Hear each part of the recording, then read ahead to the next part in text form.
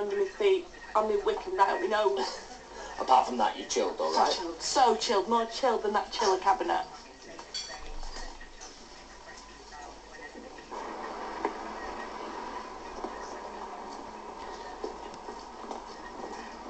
We're. What, the brewery's going to be a new squat? Location, location, location. You do realise we are still in Weatherfield? We've got an important protest planned later this week. Oh, yeah? We'll need a stable base. This place could be a fortress. Let me help, please. No chance. You're on bail.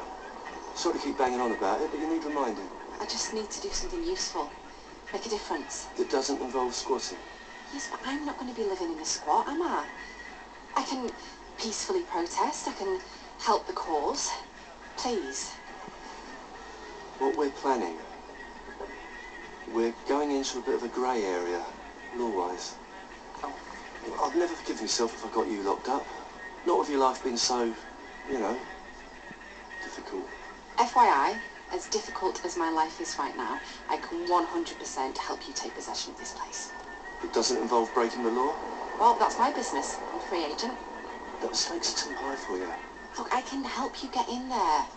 Relax, okay? No children or animals will be harmed. Oh, you're freaking me out. I can't organise a booze up in a brewery. But a squat? Leave it with me, comrade.